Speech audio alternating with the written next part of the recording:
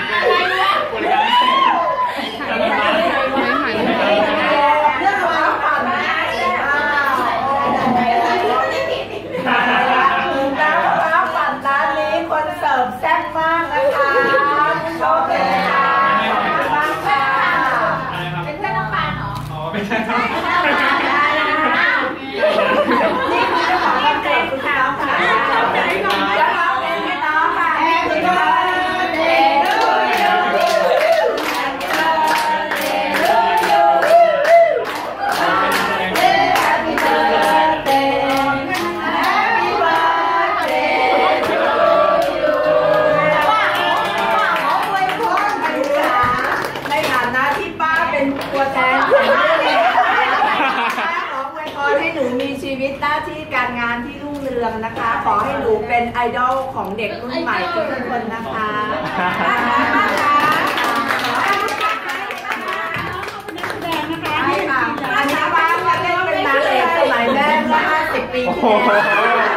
สุดยอดเลยครับให้นำตัวหน่อยลูกลุกครับน้องฟุกนะคะ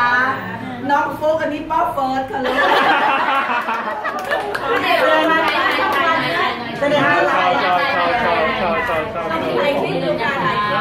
จังหวัดจังหวัดเดี๋ยวเราไปช่องวันนะคะน้องฟุกเรื่องอะไรอะครับโซตัสครับโซตัสเป็นสีครับแล้วดิวัยรุ่นครับวัยรุ่น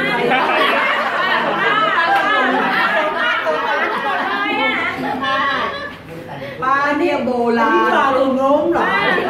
เอาไปยิ้มใหม่มาหมดแล้วแต่ยิ้มให้กันเลยสามคนหนึ่งสองห้าเลย ทันที ไปเลยสิบห้าเดี๋ยวป้าจะช่วยโปรโมทน้องฟุกแจ้งเกิดเลยนะลูกต่อไปคนแก่ทุกคนต้องรู้จักฟุกนะคะเพราะว่าคนรู้จักเลยเมื่อฟอร์มลีนหมดทุกคนเลยค่ะ